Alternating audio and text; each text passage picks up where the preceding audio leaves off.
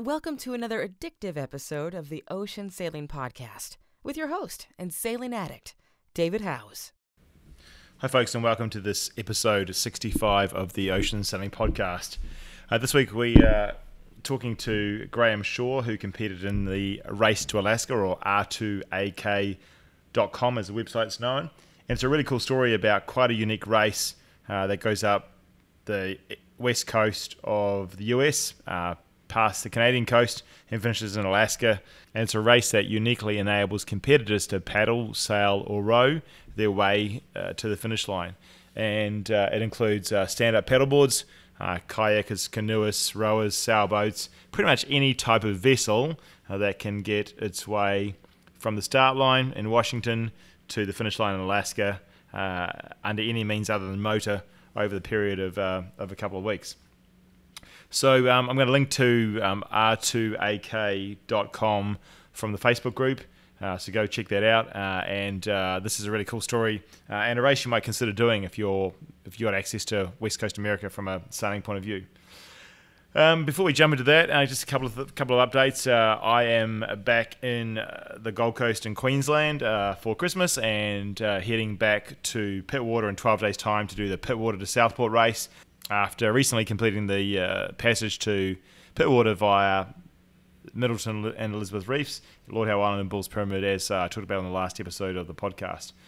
So um, I had a couple of challenges with my Predict Wind tracker. I mentioned two episodes ago you could track our progress uh, via the PredictWind tracker. I had a couple of technical issues, uh, but I have to say I've been very impressed with the technical support at PredictWind, uh, who have updated the live tracking, which you can access via the homepage at oceansailingpodcast.com.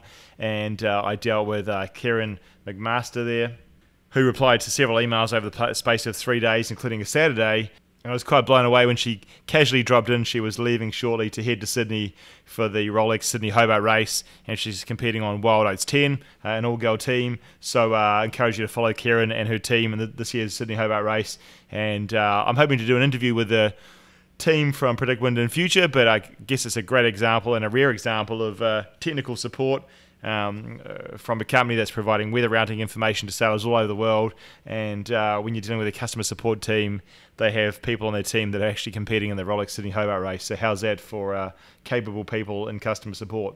Finally, before we jump into this week's episode, I've got the opportunity uh, in the near future to interview Glenn Ashby from Emirates Team New Zealand, uh, a 10 times world A class uh, catamaran champ, as well as a winning skipper from the recent America's Cup. And so I'd encourage you to go to the Ocean Sailing Podcast Facebook group. And uh, in there, I've, I've, posted and asked for questions that I can ask Glenn. So if you've got any questions at all you want me to ask Glenn, uh, go to the Facebook group, put them into the post, and I'll make sure I capture all of those questions and ask Glenn when I catch up with him in the new year. So uh, enjoy this week's episode with Graham Shaw uh, and his story of the race to Alaska.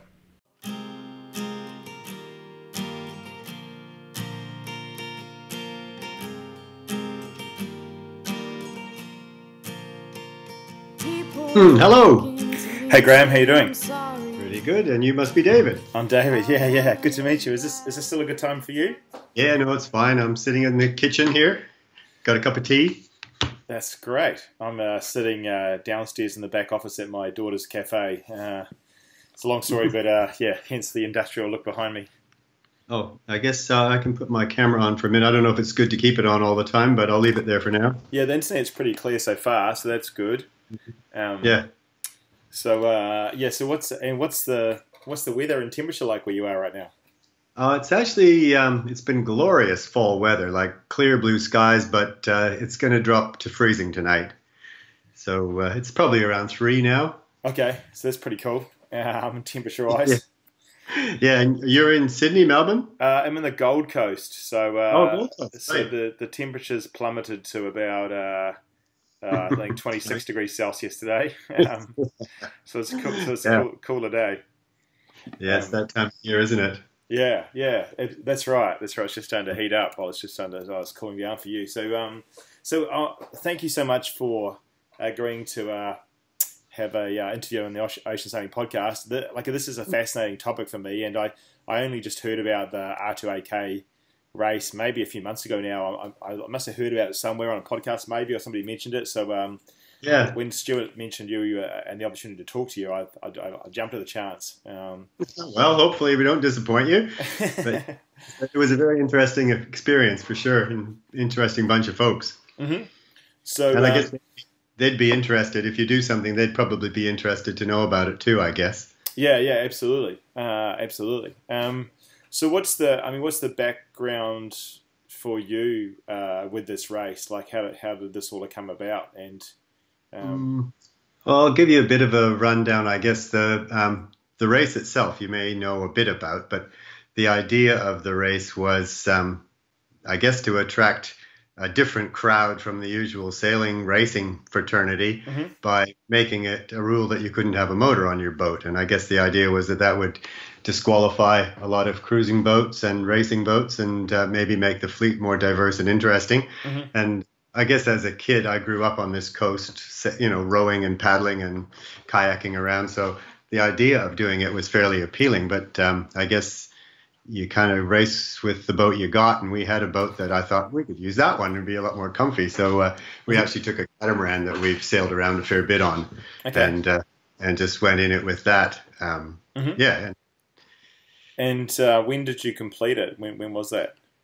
the race was just this summer gone, 2018. Okay, Um, it's been running for four years. It's a relatively new thing, and it seems to be growing in some ways. Um, yeah, the first year they had a smaller group and then a larger group, and I think there were about 38 boats in it to start this year. And of course, they don't all finish. Um, But uh, yeah, the, yeah, it's an adventure race um, without a lot of emphasis on winning for most people, anyway. well, I, re- uh, I read online on their website that uh, first place is ten thousand dollars, second place is a set of steak knives, and third place is nothing at all. So you know, right. it's quite And um, it's quite hilarious. but it is it's a it's a really really amazing race course because it uh, it combines sort of the wildness of an ocean trip um, in as much as you've got no support further north but you're in close quarters with dangerous country and strong currents so you're traveling in between rocks and things with uh, you know curious weather and uh, you know I guess if you're trying hard you're going day and night through that and uh, and and with the currents in this coast, it makes it pretty interesting. And the the weather's um, notoriously fickle. You know, it's sort of a lot of calms with a few strong blows is typical. right. Yeah, and not a lot of lovely, uh, not the sort of thing you get down near Queensland with the trade winds blowing every day in the afternoon. Um, and it's fast, it's a fascinating race because you can essentially sail or row or paddle. So quite some quite uh, interesting propulsion techniques. Um, Well, it goes beyond that into a variety of homemade pedal drives. right, inspired inspired by the America's Cup, maybe. Uh, well, I guess, although those guys were trying to pump up their hydraulics, this is actually driving propellers typically. yeah, right. Yeah. Um, okay, and what and what? I mean, how? Just tell me about the dimensions of your catamaran. It's a 34 foot cat, and it's uh, it's an ocean going boat. It's from Australia. It's sailed a bunch of oceans, um, and it's got it's kind of done plenty of that sort of stuff. But it's usually had an outboard motor as an option. Um, so this time we put a sliding seat rowing station on one of the hull transoms and uh, pedal drive, homemade pedal drive on the other one. Uh huh. Um, we could drive it with two people if we wanted to, and we could reach an astounding speed of almost two knots in flat calm. and for what duration before you got tired? Oh, we'd last at least 10 minutes. no, we keep going, but um, slower and slower. Like, probably we couldn't sustain two knots, but we probably could sustain 1.8. And we did that because we had days of calm. And uh, we weren't um, as competitive as some who were more athletic. Uh, you know, we're an older bunch. You can see from me um, that uh, we're not uh, fighting fit about to join the Olympics, but we were in it and we did our best. And so, yeah, we could keep going for a fair bit. And it was mostly, I thought, a way of getting out of um, bad current and maybe into a anchorage or out of a wind hole. But it turned out to be an important part of the race. And so, some of the winning boats probably estimated that they were, you know, human powered 14 hours a day. Wow, Um, that's a big percentage, and and, and like Yeah. and, and it's a 750 nautical mile race in terms of both legs. So how long did it take you to complete the race? We took seven days, pretty much neat. Wow, And, uh, that's pretty good going given the adversity. We that were you 12 faced. hours behind the winners, so Wow, yeah. Well, congratulations! That's, a, that's an excellent result. oh, we were happy. We were in amongst it. But yeah, the, the people who were more athletic and more driven, um, you know, did do better. I have to say that it changed my experience, that part, because myself and the crew went in it with the intention of having a adventure and heading north and going with a bunch of people who were willing to take on something like that. Mhm. But after the first day, we actually realized we probably had the speed to compete, which was a bit frustrating because we weren't mentally prepared for that at all. and you hadn't you hadn't been going to the gym for some months before that to build up to it or anything by any chance? Yeah, we were right in amongst the leaders after two days, and we were thinking, "Oh dear, this is a bit of a worry." So is it fair to say that you probably exceeded your expectations in terms of where you finished relative to the, the leading bunch? Yeah, I'd say we did. Yeah, we did better than we thought. Um, Mhm. But again, I mean, we can always um, analyze that. I think that different years, there's been some boats that are ridiculously fast, and this Mhm. year there weren't any of those. right. Okay. So that really made it a, a true um, a level of playing field, should we say? Um, given some of the crazy stuff that's Yeah, about well, with maybe- technology now. maybe the, the hurdles weren't quite so high this year, maybe in some ways Mhm. for uh, for us anyway. Mhm. But yeah, it was mostly about having fun, and we had a mixed crew. My partner, who sailed on the boat a fair bit, and uh, a friend here who had hardly sailed at all, but who was willing to pedal, Mhm. and um, a friend from Australia who has raced on, you know, monohulls on sort of around the bay and stuff like that quite a bit. Mhm. Yeah, we had a mixed crew, So there was that three or four in total that you had. four of us. Four of you. Okay. Okay. Um, and, and what percentage of the time would you have been, uh, you know, ro- rowing or pa- paddling? Um, do you do, do you kind of guesstimate? Yeah, personally, not that much because it turned out that it was better for me to trim sails and steer the boat. Mhm. Um, the conditions are so remarkably changeable Mhm. that even in the quiet, um, just getting down the back and pedaling, we'd end up backwinded in no time or.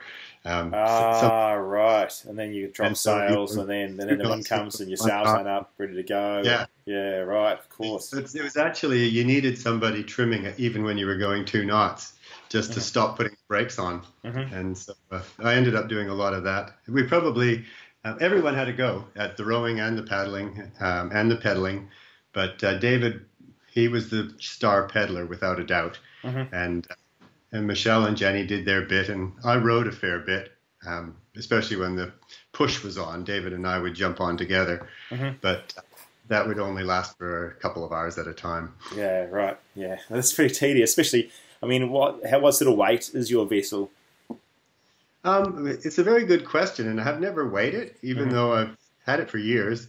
My guess is that it's around um, between four and a half and five and a half thousand pounds. Okay.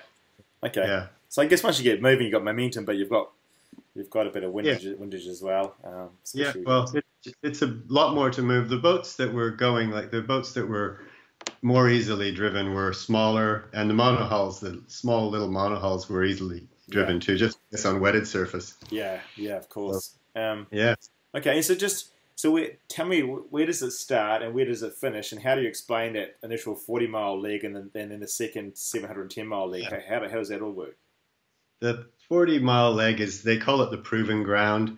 It's really, um, I think it's part of their risk management Mhm. that uh, it, it crosses the Juan de Fuca Strait. I don't expect you know it, but that's a, a gap between Vancouver Island and Washington coast, and the wind funnels in through there Mhm. fairly well. Mhm. So quite often it does, you know, send up a bit of a chop and a blow. So um, anybody that couldn't cross that probably shouldn't be heading off into unsupervised territory in the north. Mhm.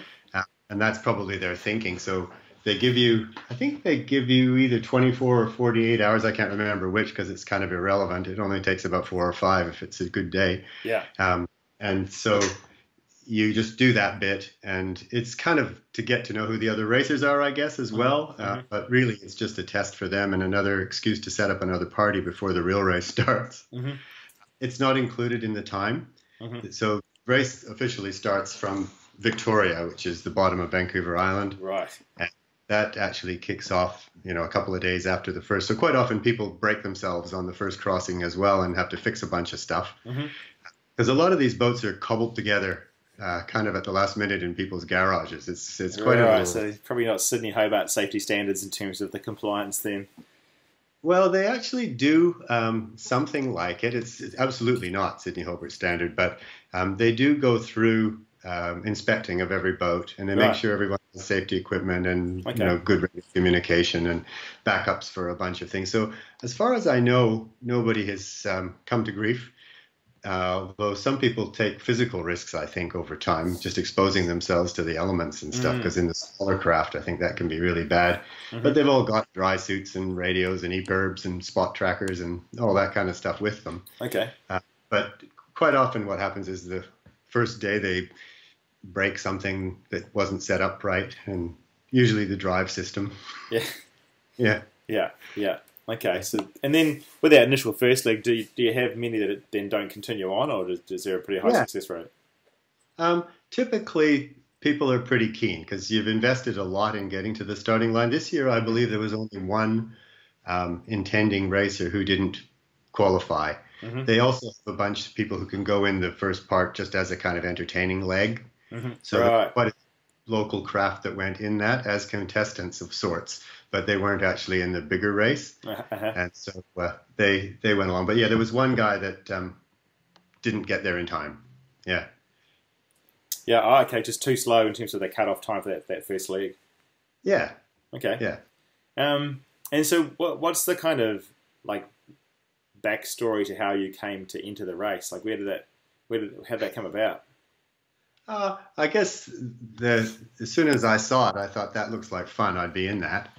Um, and I guess I just had to try and convince a few people to join in. That was pretty much all there was to it. Mhm. it it's a it's a story, I guess, the way that they set it up, and um, I, it appeals to a whole bunch of things for me. Mm. It's uh, I guess I've gone in racing, in club racing and ocean racing in bigger boats, and and it's fun, but it's not. Um, I can't afford to do it like personally, Mhm. so I'm always sort of just pulling on a string or poking on doing one or two jobs, and uh, to sort of have the big picture of this and really to take it on as a as a kind of a real adventure Mm. uh, appealed immensely. Yeah. Well, and it's a fascinating part of the world to see as well. Like you know, in Oh, terms of yeah. the coastline and the scenery, it's just so far removed from what we see in Australia. and the wildlife. You know, Mm. it's just uh, just stunning the stuff that you do see as it turns out.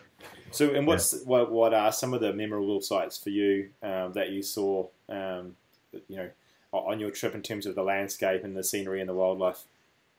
Well, um, I guess to start with, the it's like fjord country, a lot of it up Mhm. through there, because Mhm. you go, you're required to pass by two checkpoints. Mhm. Both of them lead you inside islands, so you're going through these narrow um, passes with very high mountains all around.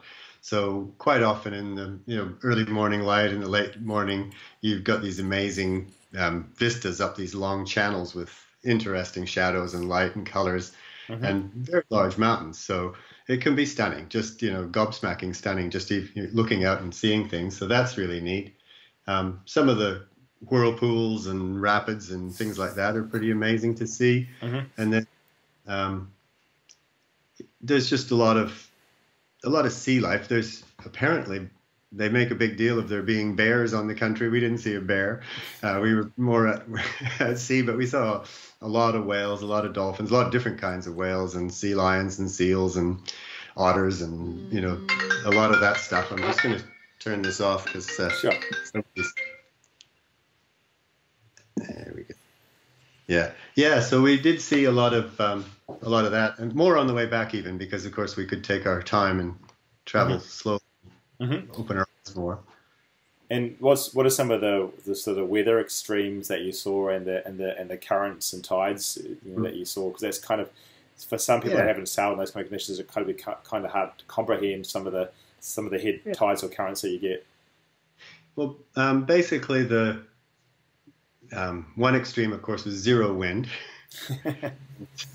so we had quite a bit of that, um, and so just nothing. And then, of course, the tides in that early stage would run anything from zero up to about four knots through Wow. those passes. So we could um, go against most of it, but not all of it. So we did get stuck the very first day Mhm. trying to break between two islands. We, we didn't get through in time, and so we ended up having to anchor till the tide changed. Mhm. And then um, later on, when we came up, there's a place, if you do get a chance to have a look, the strongest current is called Seymour Narrows, which runs at up to 15 knots. Wow. Um, and so it's basically it's totally no go if it's against you. Mhm. Uh, so we arrived just on the end of the ebb, which would have taken us through, but then we would have 100 miles of current against us at two or three knots. So we actually decided to use that time to sleep for a whole tide, Mhm. and went with the beginning of the flood or the, with the ebb to take us through the next on the next ebb. Mhm. So um,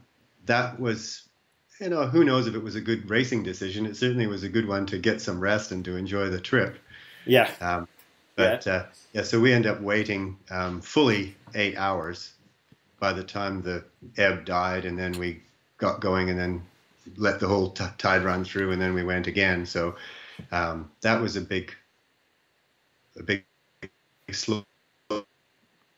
Um, you know, 10 o'clock at night, which was just on dusk. So then we carried on through the night into the narrow channel.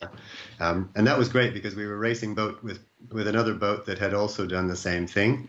Um, and that's the cool thing about this race is it doesn't really matter where you are. There's always someone near you, Mhm. and that's who you race with. So we had a, it was actually a J88, some young kids, some young dinghy sailors that were hot, and uh, so we were crossing tacks with them all night long up this passage, which was really fun. Uh, we probably sailed within a mile of them for about 45 hours. Uh-huh. Wow. So lots, lots of lots of races within the race, but that, that's pretty cool Yeah, having boats around you. It's always more enjoyable, I think, on big ocean races than if you just don't see anybody sort of within a few hours of the start until until the end. And another thing with those guys is we they um, there's roughly hundred miles of passage up through until you break out of the north of Vancouver Island. Mhm. And just before we got out, there was an option to go through a narrow pass into um, more open water, Mhm. which we thought we could do, and we tried and we failed.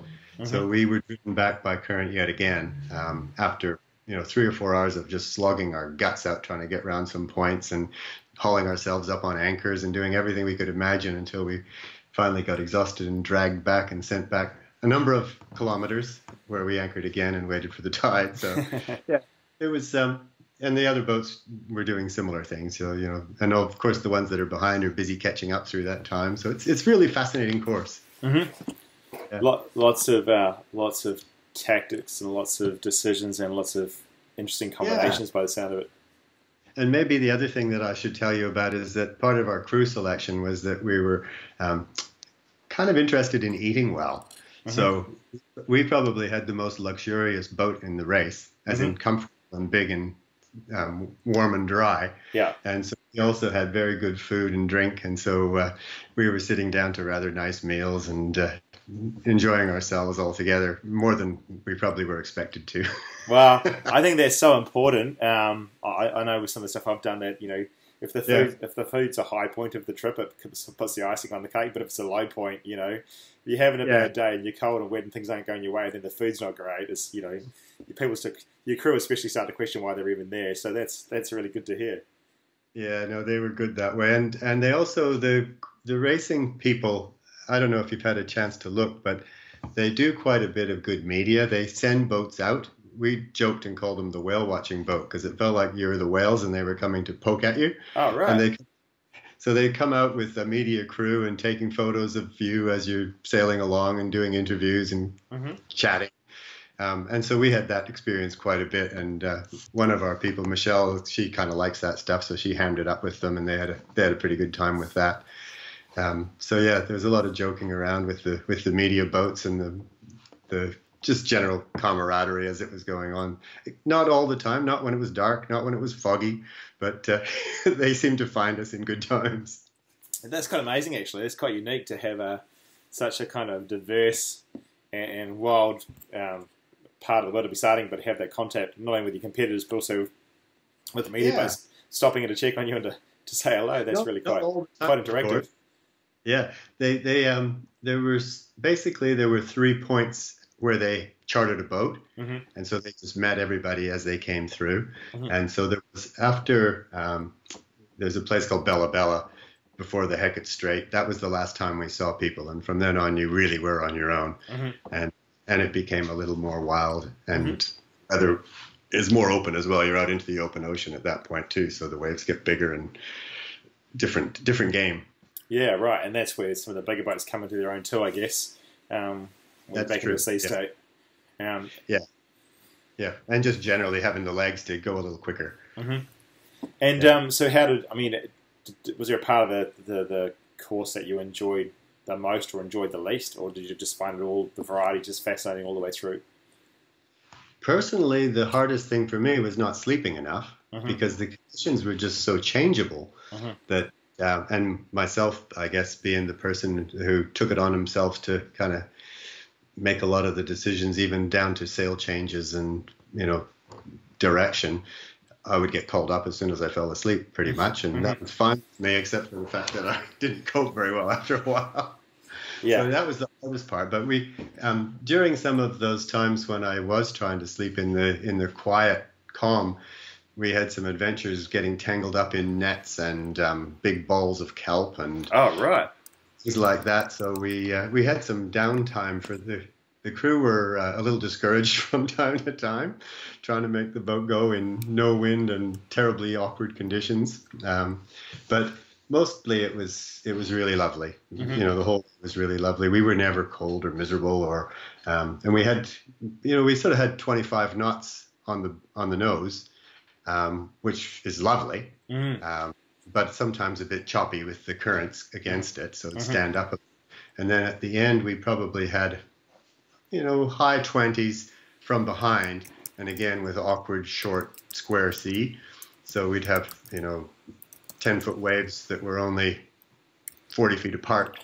Oh, right. So that's quite, it's quite, quite so it was, it was pretty choppy. um, yeah, it was steep, and you'd go racing down these things and spearing into the ones in front and stuff like that. Mhm. Um, but again, nothing, um, nothing scary for the boat, and just awkward and a little bit uncomfortable maybe. But we were happy at that point because, of course, we were going faster than other people. well, I've always found that um, it's it's almost more, more stressful and demoralising in, in little or no wind, particularly if you've got adverse current, than if you've got plenty of wind and everybody's just focused on keeping the boat moving and staying comfortable. And you know, it's Mm. it's it's so much tougher, um, particularly with all the things you do to constantly trim sails and try and keep the boat moving. It- It's just so much tougher psychologically, I think, too. It is Yeah. hard, that's for sure. But I, I would say we didn't really have a morale issue on our boat. Everyone was right into it. Mhm. Um, we just had a, a, a ton of fun. Um, the only down part was just being just shagged. Yeah. You know, and getting in at the end and just going to bed for like 14 hours. and so for you, Graham, as you as you got a bit sort of tighter as the days rolled on, did you did you fa- did you find that um, sleep kind of deprivation sort of did it start to make you grumpy or affect your judgment, or did it cause you to put off doing things that you wanted to do but couldn't be bothered? I mean, how do you if you look back at it? So I was always always I'm always Yeah. interested to see how it affects other people because I, I know how to fix me, and I always see in, I always Yeah. this wisdom in hindsight, but the time I don't always see it. Um, you know, And I guess you probably watched the uh, the Route du Rhum, hey? yeah, yeah, that's right. That's So sleep deprivation can be a bummer. crazy stuff. But- Um, no, I guess you'd have to ask the crew about how grumpy I got. I think um, I think they were they'd be kind to me. I think they would, and uh, and they were so good that I don't think I could really be very grumpy with anybody. Mhm. So uh, definitely, it it was a it was hard, and I think that probably the seeing as you're kind of looking at that stuff, the personal challenge for me was more early on in the race when I realized that we actually could probably get in amongst it, but that we had to kind of decide not to. yeah, 'Cause- right. 'cause we really wanted to, Yeah. but I just we didn't have the team to do it, and we weren't prepared to do it. And so that was a little bit of a thing. And so I actually had a little moment when I uh, I told everybody that I'd uh, had had I'd been dealing with um, really wanting them to do a whole bunch of stuff that they couldn't do.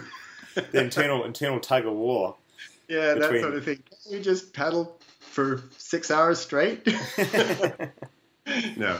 So uh, yeah, I kind of had to come to terms with that, but that was pretty early on. So I think uh, I think we got that, and then we had we did have some scary times, and we did have um, we we came much too close to a rock at one point. Mm-hmm. Uh, you probably are familiar with you know the um, screen GPS type um, chart plotter navigation now, which Yeah. means very rarely have a paper chart up on deck, Mm. and um, if you're not scaled at the right zone, you can actually miss stuff. Yeah, And so- easily too. Um, We came way too close to a rock, and that was a good shake-up. Mhm. And another um, little adventure that we had is we had. Um, I hope he doesn't mind me telling you this, but David brought a drone along oh, um, with, Cool. with a view to taking some gorgeous photos of us sailing along. hmm But unfortunately, um, the drone and David hadn't quite worked out how to land on a moving boat very effectively. So the drone ended up swimming.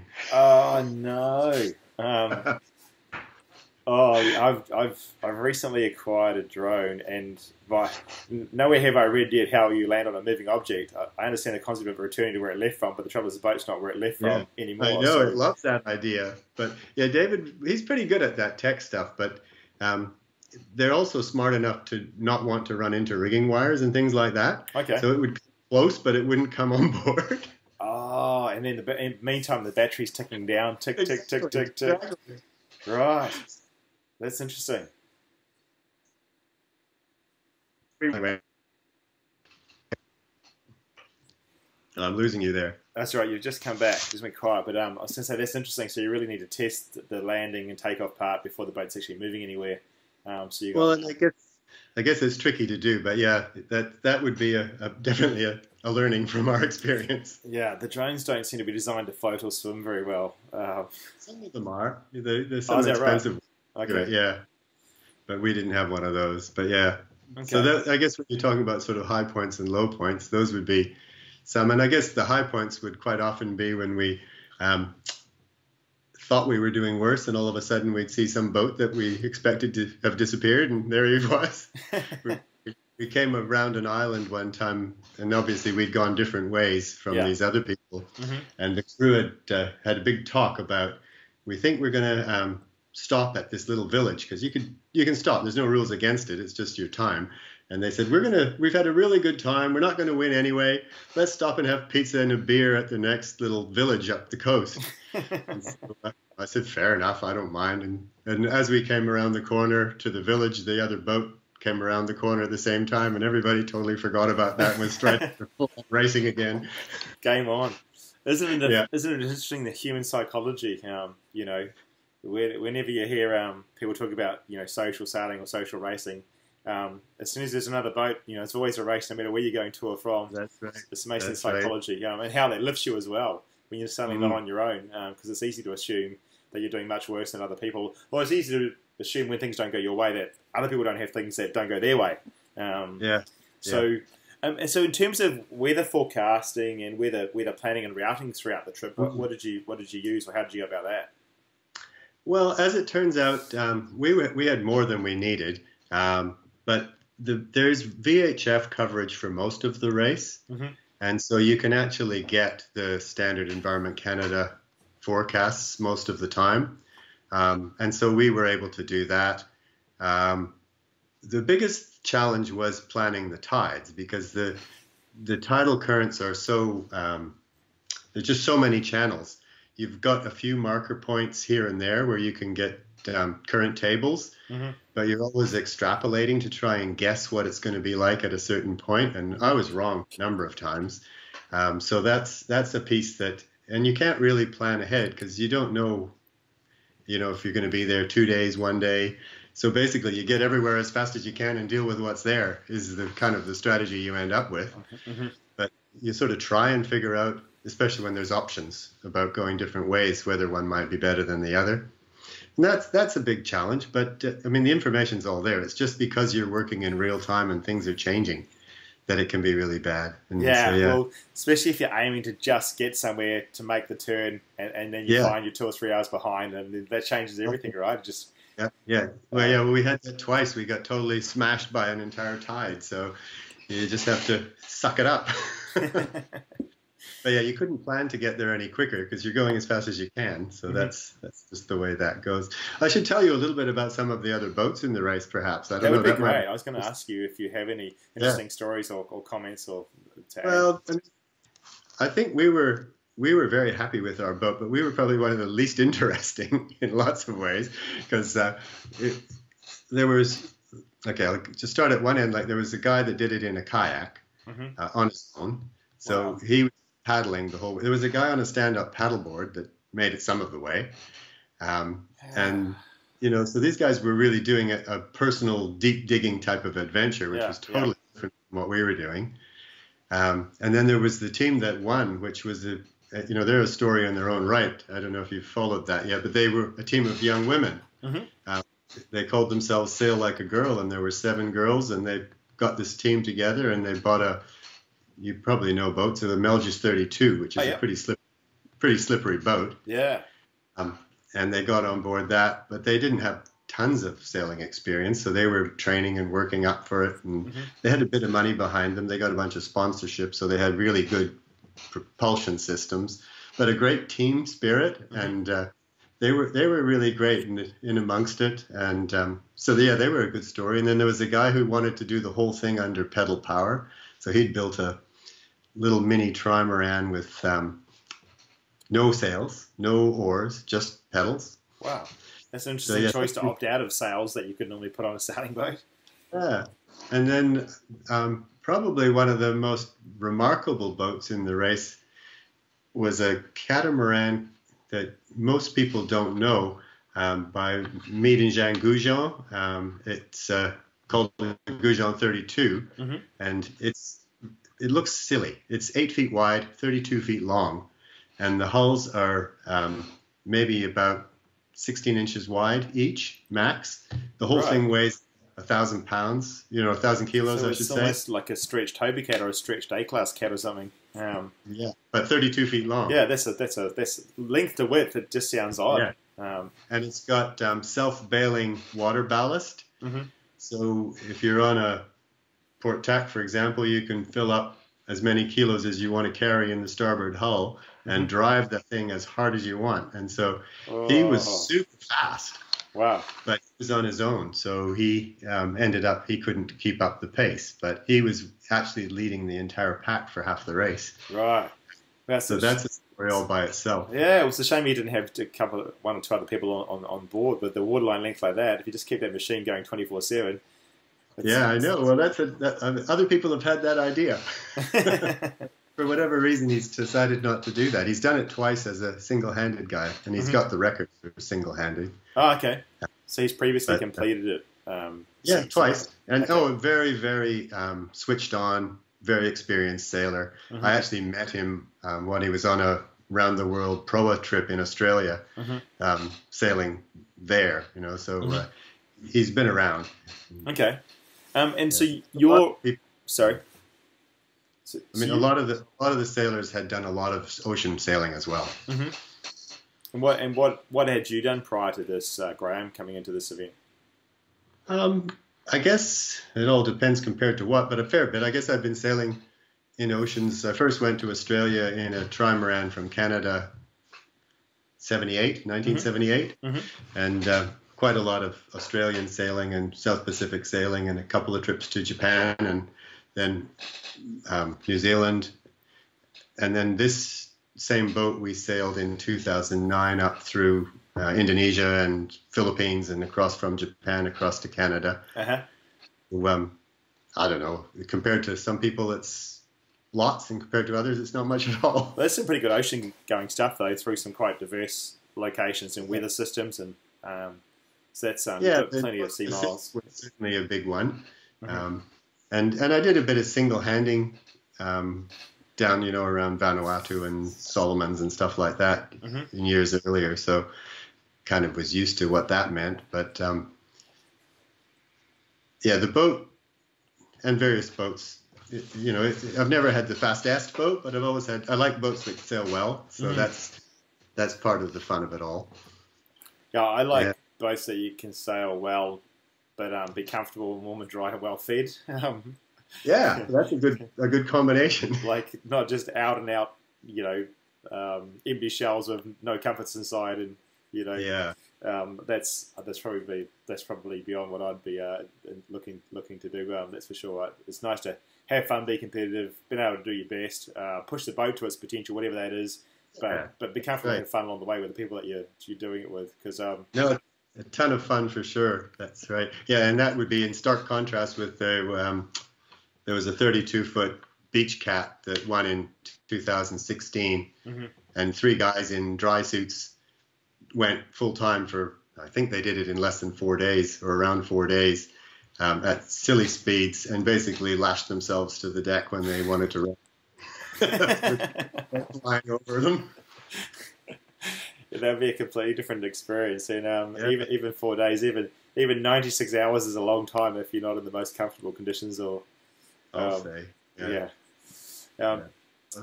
okay. Some- And for sure. So, yeah, I'm not sure what what I should else tell you, but that's certainly a bunch of stuff. what what else? I mean, so so whereabouts? Just to whereabouts is the finish line for the race? The finish line is in Ketchikan in Alaska, Mhm. And that was another exciting time for us because um, there was there, we're a multi-hull, a catamaran, and there were a number of trimarans who you may know um, Ian Farrier, or you may know of Farrier Designs, you may not. I know I've Uh, heard of the name of the Farrier Anyway, your design name. Yeah, he would probably be the premium sort of simple backyard type racing.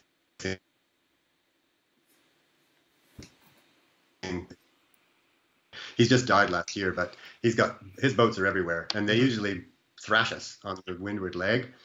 And so we were pretty happy, given this was a windward race, that um, there were a number of farriers in it, and that was actually my goal from the beginning was to beat a farrier. Um, but we ended up beating all of them, Wow. um, except one. And Wow. the one that yes, beat us by three minutes. And we had a racing drag race up the finish line with um, paddles and oars and pedals. So uh, it's, it's every- pretty exciting. Everything at it. Just threw everything at Yeah. it. Three minutes short. Yeah, they were they were actually faster than us under human power, so they got away. But uh, yeah, we actually snuck right up on them, and so that was exciting too, right to the end. hmm And what's Yeah. the reception like when you get there, and what, what do you then do Oh. once you arrive? It's astonishing.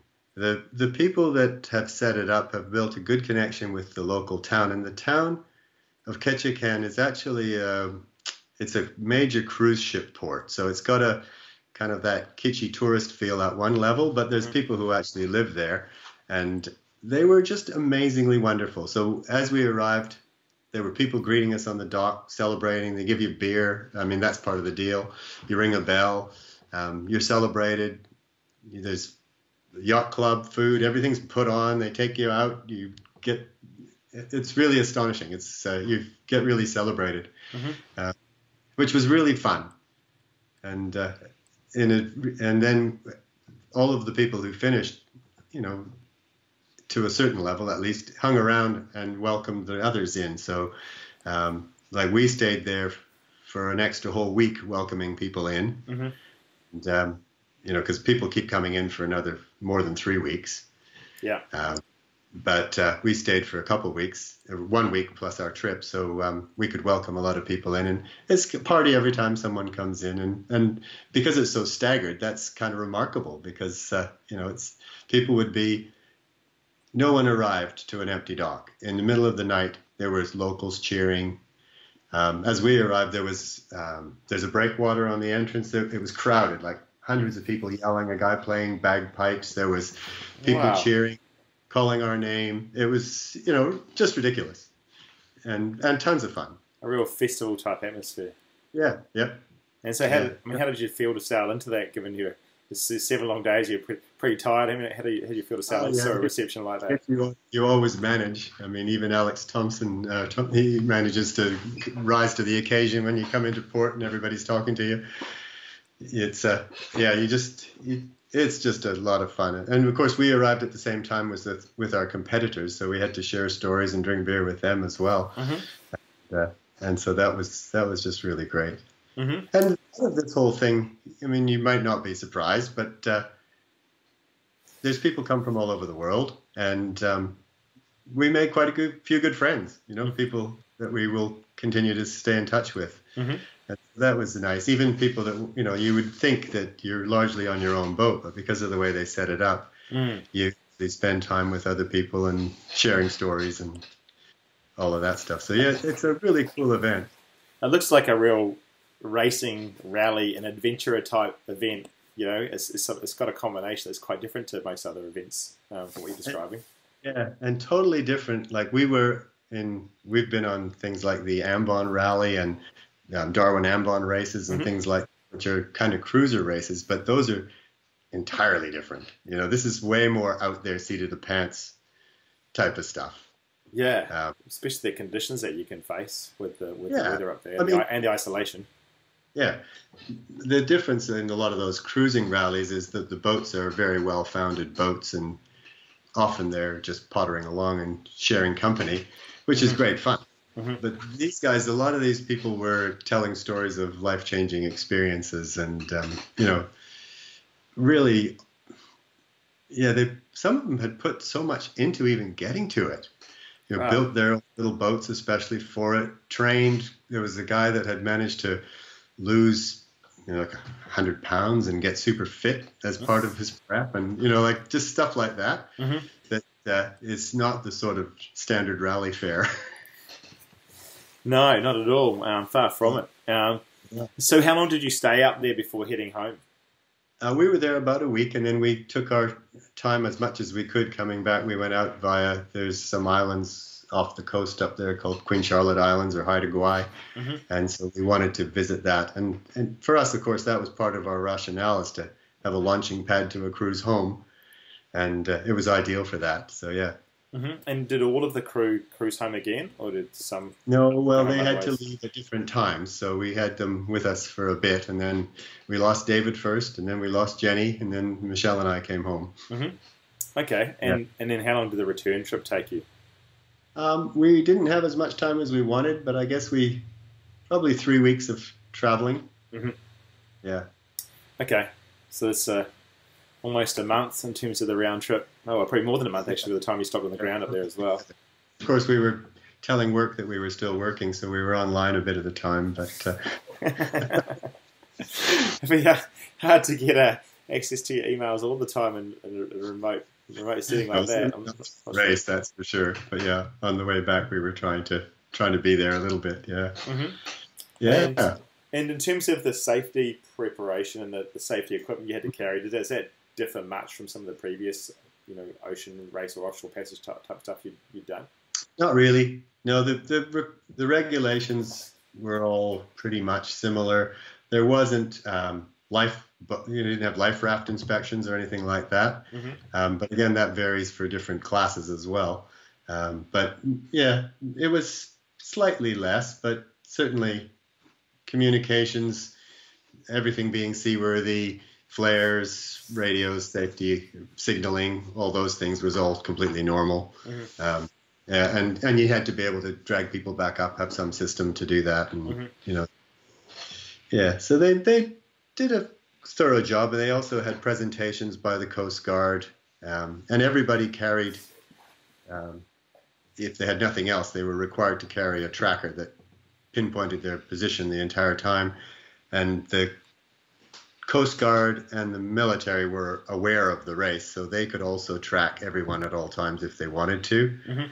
Um, but I don't think that those were required, and, and I guess you know everyone was given good briefings on how to stay out of trouble in terms of traffic, uh, because a lot of the people may not have had a lot of experience with dealing with ships.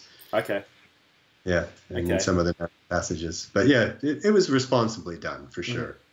Because with some of those smaller vessels, it must be uh, challenging for them to fit all their supplies and safety gear and everything on board when you start talking about stand-up paddle boards and kayaks and stuff like that. And that's part of the creativity of the races. They're not required to go non-stop. They can stop and get, buy things, and they can go to ah, restaurants. right. They can do whatever they want. So they can stop for a Yeah. meal here, there, and everywhere, and then Yeah. carry on. And it's also um, one of the fun things about the race is no rules against people helping you. So if you break down, people can help you. Oh, you're good. just not allowed, you're not allowed to have any pre uh, arranged support. So you can't have food drops and things, but you can have um, you can you can go wandering into town looking for a 7 16th bolt Yeah. and you find one, you know, Yeah, that sort yeah. of thing. Yeah, it sounds. Uh, I don't know if you ever remember, but do you remember the Cannonball Run from the seventies with Burt Reynolds? Um, where I there was a, it was a race across it. America, Well, and, and, and yeah, there was right. trucks and Ferraris and all sorts of, and it, it kind of didn't matter how you got there, but you know, it was all the fun they had along the way. It's, it almost sounds Oh, like the equivalent on the water. May have been some of their inspiration. I never asked them about that. Yeah. Um, yeah, and that's it's really interesting. Um, really interesting. Uh, but yeah, that, that does open it up to, I guess, a number of people when you look at if you're playing it well, um, the ability to sort of Yeah. stop stop like that. And so Yeah, there was a couple that rode in a um, like a two-person Whitehall rowcraft Mhm. uh, the previous year, and then they did it in a two-person kayak this year, and Mhm. apparently with relative comfort. You know, they took their time and they just stopped and ate and camped and So they would just sleep ashore each each night, and then or each each time they Yeah. sleep, and then jump in and carry on. Like like day trippers, really almost. pretty Uh, much. But yeah, but of course it takes them almost three weeks instead of one. So Yeah. well, that's right. It's still 750 nautical miles, which is still a long way to go. Um, And the real thing, like I guess, is that the races everybody has their own race, really, because Mm. there's no one quite like you. There's it's not one design. There's no um, measurement thing to do handicap or anything like that. So Yeah. there's kind of you can't really take a lot of pride if you've got a you know super fast boat in beating a rowboat. no, no, that's right. It's that's it's everybody's own personal race against whatever. yeah, Whatever I think that's, that's themselves. part of it. That really appeals as well. That's as far as the race course goes. I don't think you could get a more varied and more interesting race course. I really don't. You know, just something going on all the time. Conditions constantly changing. Mhm. Really, like big changes. Like instead of, you know, like if you're looking at an ocean race, you're looking at a pattern come through, and the wind's going to swing, and then it's going to change. But there, you would have, you know, hard on the nose, and then you turn a corner, and then it's right behind you, and then 100 meters later, it's on the nose again, and Mm. dies for five hours and then it comes in. You know, it's just constant. So that stuff is uh, it really gets your attention. Yeah, massively challenging, massively frustrating, but also you, you've always got to be ready to take advantage of whatever you get Mm. served up. Yeah. Um, given you don't know how long it's going to last, sometimes I, I guess, um, good or bad. Yeah. Yeah, that's that's the way to do it, I think, and to, and to enjoy it. Yeah, Okay, and how often does the race run? it's running every year Wow. still. Um, it's going to run this. I think it starts in June seventh next year. Mhm. Um, and there's rumors they're going to change the rules in some maybe important way in 2020. Mhm.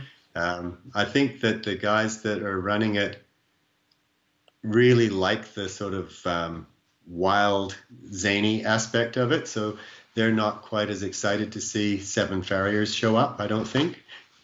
But, you know, the sort of standard production trimaran type Yeah. thing Yeah. that has won it quite often. Mhm. So yeah. Yeah, that, that, yeah, because that's I guess in terms of preserving its uniqueness and preserving the attractiveness and not turning it into you know something that somebody wins more often than not in terms of a, a particular yacht design. That must be part of the challenge of.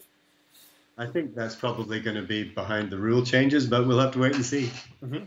And when it's no engines, does that mean if you've got a cruising boat with a built-in engine, you just can't do it, or does that mean you just can't have fuel or propeller on board, or is there any? No, you're absolutely welcome to do it as long as you take the engine out. so, so there it's literally no engine at all. Yeah, yeah, it was a it was a Peterson 44. Mhm. Um, you know, you, I don't know if you know a big IOR boat, um, and he would have had a six-cylinder diesel. He took it out. There was uh, a, a number of monohulls, sort of in the 30-foot zone, that had all taken their diesel engines out. yeah, wow. So uh, yeah, people do it. I guess it's not too hard if you've got the right gear, and I guess it saves you the weight if you're planning on rowing your boat at some point. Yeah, and you can imagine that a Peterson 44 doesn't row very well, No, no, no, but no. it's pretty well weather in a blow. Yeah, yeah, that's right. That's right. Um, yeah, I'm not sure what my ideal boat would be, but I don't think it would be a Beneteau 45 either. For some reason, rowing No. ten, rowing ten tons would be appealing. to the race as well, and they didn't do that well. Mm. But yeah, I think um, that's one of the fun things is guessing what sort of uh, boat's going to suit. And the thing is that it changes. The conditions are so varied that Mhm. one year the boat that wins wouldn't win the next year. Oh, right. So it is. It does really mix it up even from year Yeah. to year in terms of the cycles. Yeah, like if you get a good steady blow all the way through, the sailboats are going to totally kill it. And w- one year it's going to be so quiet that some human-powered thing is going to win it, you know. Mhm, mhm. But that hasn't happened yet. Um, yeah, well, like, yeah, that's, that's right because it's, it's getting that longer period of time with no breeze at all, particularly once you get out in the open ocean. I guess it's um, it's probably going to get harder. This is pretty Yeah. unlikely in that part of the world. Yeah, that's right. Um, but yeah, we do get lo- long ca- calms and big highs that just sit over the coast sometimes. Mm-hmm. Mhm. Okay, and so um, do you have any plans from here for any other races or adventures or any other passage sort of passages you're wanting to do next? Well, we're idly playing with the idea of having another run in the 2020, depending if the rules suit us, because we really did enjoy it, and that would be involving, again, it would be a launch pad for a. This time would hopefully be a longer cruise up into Alaska and up the BC coast. Um, so that probably be one thing, and then ultimately we're likely to sail the same boat back to Australia via the South Pacific, Mhm. but probably not for another few years. Well, that that'd Yeah. be nice. That'd be a nice trip. Um, would you would you go down the down the west coast of the US and then sort of across Yeah, from there? Probably cross over from Mon- um, Mexico, Cabo, or Mhm. somewhere from there. That's, I guess, the milk run. Yeah, that would be a nice way to spend a, uh, however long you wanted, really, um, depending on how long you Yeah. want to stretch that stretch that trip out over. Um, Yeah, I think, yeah. It's, I mean, we did it a long time ago in a little trimaran, and it was wonderful. Um, I- think it would be quite different now because of the amount of traffic Mhm. the places get, but it would be still beautiful, I'm Mhm. sure. and do you have um, AIS or radar on your boat? We don't. Um, we don't have either of those things. Mhm. Yeah, and certainly radar would be an advantage on the coast north here because sometimes the fog is super thick. It's good in the fog and it's good at night with boats that aren't well lit up or you know hard to Yeah. see. And that, that's I, I, I, I, I have it, but I mean I know a lot of people Yeah. don't these days, but I still find it useful at certain times when. Yeah. If you're short-handed, it gives you a lot Certainly, of peace the AIS is, is a good thing, and we monitor other people's AIS, but we don't send an AIS signal all the Okay. time. So, Okay, well, at least if you can see them, you're halfway, Yeah. probably three quarters of the Yeah. way to avoid well, them. yeah, and I guess if you're constantly on watch, um, you've got a good chance of uh, seeing things. But it is you do have sometimes closer calls than you think, and there's more traffic out in the ocean than you think too sometimes. Mm, But yeah, it's becoming completely the norm. So we'll end up with AIS for sure. Mhm. I don't think we'll go with radar, just because of the type of boat we have. mhm. Yeah. Okay. Do you have monohull, a big, a biggish boat, or? Uh, uh, Beneteau 445, so 44 and a Oh. half foot Beneteau. Um, Yeah. And See, there you, could you could come in the race for sure. I just feel Just a long, a long time at the gym leading up to that to be able to row that baby for uh, more, more than more than half an hour. Um, If if you have a look, the um, 2019 entries, there's an Australian boat already registered. okay, Yeah. okay, that hasn't inspired me yet, but I, think it'd be a cool, it'd be an amazing trip to do on the on the right sort of vessel. Um, And Yeah. I've I've done uh, uh, we we did a race a couple of years ago. Um, this was the slowest uh, Sydney to Gold Coast race in history. And in fact, it was so slow that Wild Oats took two days instead of one and ran out of food. Um, Oh, boy. we- We didn't run out of food, but we had at least 24 hours in the four days of, of no literally no breeze and going backwards in the north to south current. And, Yeah, right. And I've seen I've seen how that that um, that causes immense frustration amongst your crew. Um, so I'm, Ah. gonna, I'm going to extrapolate that into a race like that where you need to be able to keep your boat moving um, uh, for Yeah. a reasonable percentage of the time. Otherwise, you just go stir crazy waiting for the breeze. Um, so yeah, I think you need a different sort of boat, but um, or, or or you have to hire the right big burly big burly uh, boys and girls who, could, who had who had rowers' arms. yeah. um, Oh, So that's great. Oh, that's excellent, Graham. Well, that's really fascinating, and it's, and it's a great story that you've you've shared, and I really appreciate you sharing it because it's just a. When I looked at the website itself, um, only recently, and, looked at what a unusual and uh, unique kind of race and adventure it is, I just thought it's just a really Hmm. cool, really cool uh, yeah. story to share. I commend it highly to anyone who's interested. Um, I don't think we met anybody that didn't have a great time. Even one guy that didn't finish um, continued to, you know, report to the race people and still sends things to their website. So it's a kind of a community Mhm. building event as well, which is which is a fun thing. And, and if somebody's considering doing this, um, and, and you look at the the combination of um, crew and vessels sort of that that have, that had the most success or the most fun in terms of getting from A to B, what would what would your advice be if there was any advice you could give somebody else? Um, I guess from our experience and and from listening to my crew, I would say that the best advice to give anyone is don't try and win and go in there to have fun. Yeah, Because, I mean, if you wanted to win, you just have to get a super fast boat, Mm. um, but and one that's easily driven. But those boats aren't easy to come by, and you know, if you've got one, you already know about it. Yeah. So I think I think for most people, it's really just a case of go in there with a idea to do the best you can in whatever way that means for you, and uh, and enjoy it, and look after yourselves and the rest of the people that you run into, and have a great time. That would be my advice. Well, I think it's I think it's great advice, particularly when you're in such a unique and scenic part of the world. Um, to, to, to do it and not enjoy it would be a bit of a crime, really, um, and a lost opportunity uh, because you might only do it once in your life. Um, pro- probably right. probably will only do it once in your life, so it's good to good to enjoy that. Actually, just on that point, um, that seems to be highly unlikely that you only do it once. Okay, Um, yeah, like there's people that have done it every single year, and quite a few that have done it multiple times, even in over four, with only four years. So Wow. uh, there you go. so it's a bit like a Sydney Hobart type situation where it becomes France it becomes addictive. Chicago.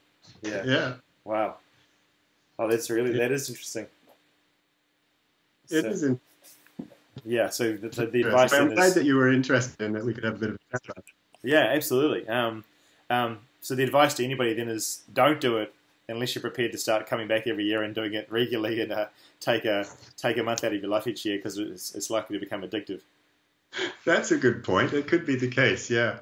Yeah, there's certainly lots of conversation amongst the people that were in it last year. When are you going to do it again? And Mhm. we'll do it with you or change crews. People are buying new boats because they've changed their mind and there's consortiums forming. And, Wow. you know, people, yeah, have been buying boats like wrecks and fixing them up and doing all kinds of things because it's so different.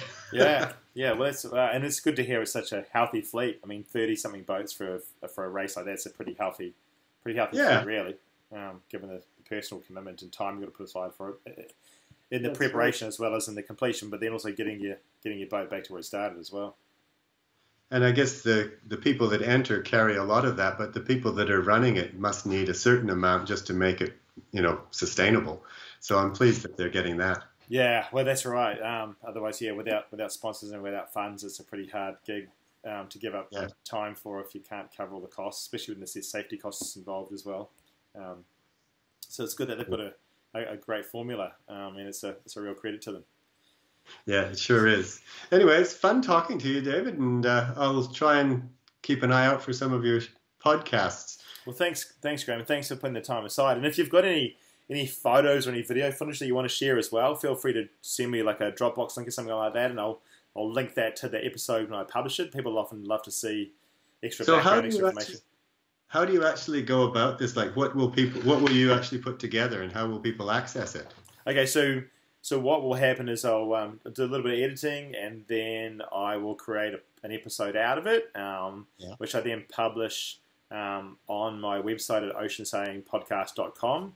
Uh, it also gets fed automatically to um, iTunes and multiple other podcast apps and platforms out there that people can then look up the Ocean Sailing Podcast and, and download and stream the show through their own mobile devices. And I'll, I'll send you some links for these bits and Yeah. pieces when I publish it. Um, Yeah. And then on the on the podcast page, I'll create a an area for the episode, um, describe what it's about, an episode cover, and then link to any other resources. Um, I'll, re- I'll link to the website for the for the um, R2AK race website um, because Yeah. people people will listen to it next month, next year, the year after. Like the the, That's the right. Yeah. podcast, people listen to the back library, so that carries on being being relevant and useful. Um, and then Mm. I'll create a an episode page. If you have any other material like I can share, then I'll link to the episode page within the website where there's any other photos or links or PDFs or any any background information you have. People who really love to digest that kind of stuff. Um, if they're curious on, on, finding out more about your story and, and seeing it yeah. through your eyes, your eyes, or just doing the research for, for doing the event themselves. So um, I could certainly send you some photos, and I guess I'm just checking. You already probably have access to the um, R2AK yep. stuff. They have a number of videos that feature us as okay. well as others. Okay. So maybe I can just make a note of those, and um, that would be great. Yeah, that would help steer that, me in the right direction um, with that as well.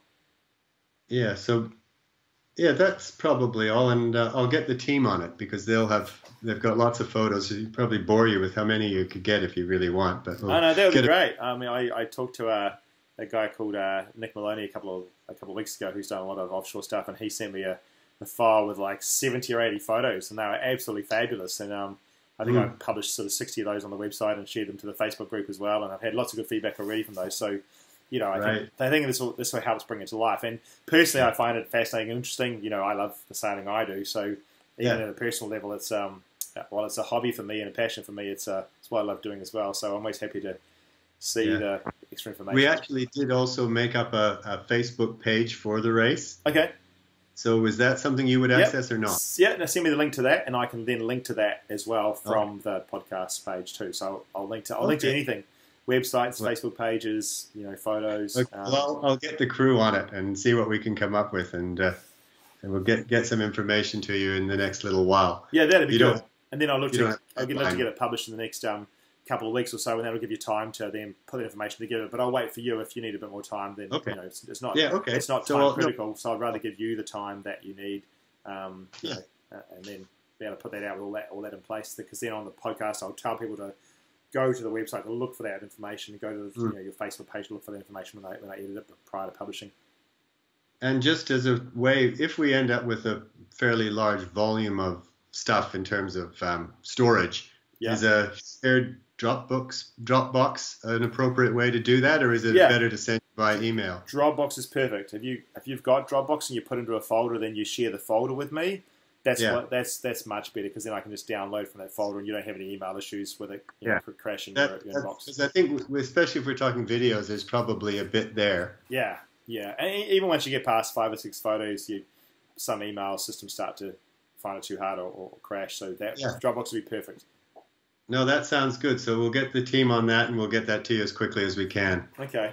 Well, that's great. Thanks so much, Graham. I, I really appreciate the time, and, and, thanks for sharing such a such a fascinating story of such an incredible event. Um, and I'm yeah. I'm looking forward to sort of seeing some of your extra background material on that on that as well.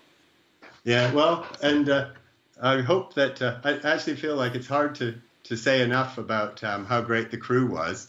So uh, I think I've said a couple of things about what I appreciated, but I hope I hope you can find a way to to make sure that that was, that appears. Uh, every, everything we've discussed will appear. Um, so it's um, my, the podcast episodes are anywhere between 45 minutes and two hours long. So um, unless you want me to take anything out, then everything everything gets oh, published. Oh, no, you don't want to bore people, but uh... uh, well, you'd be surprised. People people love this stuff, and um, and, and they listen to it, you know, in, in, the car or on the train or on the plane or the gym. So they're doing other things often while they're listening to the yeah, podcast. Right. So it yeah, doesn't it doesn't intrude on your day like watching a video or reading a, a you know a, right. an article online. So um, yeah. I, I, can only judge um, how people respond to this type of content, but also it auto plays in your car. If you if you listen to the first half hour, then next time you jump back in, it'll carry on automatically for you. Yeah, that's right. So it's not like, it's not like like it'll fit into an exact time frame like television or anything like that. So you know, it's, it's really really good. So um, so I'll send you all those details when I publish it as well, so you've got all that information to see. Okay, where we'll, how it we'll works. be in touch, I guess, in yeah. the next little while. That would be perfect. Okay. Thank you so much. Thank, thank you for the time. It's been fun. That's been my pleasure.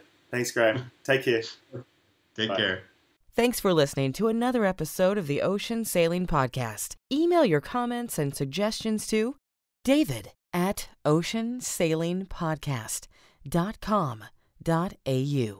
See you next week. Thanks for joining me this week on the Ocean Sailing Podcast. If you've got a great story idea or you know somebody who I can talk to, please uh, drop me an email with the details. If you'd like to join us on an upcoming ocean race regatta or adventure passage, check out the details at oceansailingpodcast.com. in 2019, we have a full calendar that starts with the Pittwater to Southport 360 mile ocean race in January, two Trans Tasman crossings uh, in March and April, uh, including a stop at Norfolk Island, the inaugural Brisbane to Hamilton Island 600 nautical mile yacht race in August, Hamilton Island Race Week, and later in the year, Southport to Middleton and Elizabeth Reefs, on to Lord Howe Island, then on to Sydney in preparation for the 75th edition of the Rolex Sydney Hobart. And we have one to two crew spots available uh, in most of those events. So, again, check out the uh, calendar at oceansailingpodcast.com. I'm working on the 2020 calendar and started to release some of those events. 2020 is really exciting, uh, starting with a 14 day, 800 nautical mile circumnavigation of Tasmania, followed by two 1300 nautical mile Trans Tasman crossings, the Brisbane to Noumea race, the 600 nautical mile New Caledonia Group Arm race, uh, and then a 1630 nautical mile passage from Fiji to Hamilton Island before doing Hamilton Island Race Week. So check out all those events that are coming up at oceansailingpodcast.com and look out for updates to the calendar as I add some of the final touches to the 2020 uh, race and passage schedule in the next uh, few days. There's lots of photos, lots of videos you can check out to give you a bit of a taste of what it's about. But if you've always wanted to get offshore or go ocean sailing or join a, uh, a race team just for a, uh, a, a one off ocean race, this is a unique opportunity to join a, an experienced and professional team with a handful of spots we have available.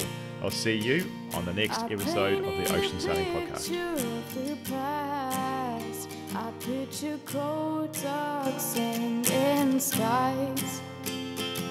I painted the future how it's supposed to be, with warm sun in a bright town. So turn around and hear them speak. So turn around